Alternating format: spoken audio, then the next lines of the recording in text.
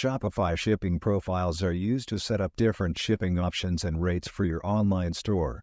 You need to add FedEx shipping options from PluginHive to the Shopify shipping profiles you have created.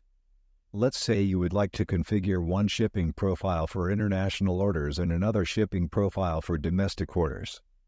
To begin, log into your Shopify admin panel and go to Settings and select Shipping and Delivery. Next, choose the shipping profile you want to edit or create a new one for international orders. Now, go to the profile settings and add FedEx shipping options from PluginHive by selecting FedEx as the carrier and configuring the desired options and rates. Save the changes for the international shipping profile.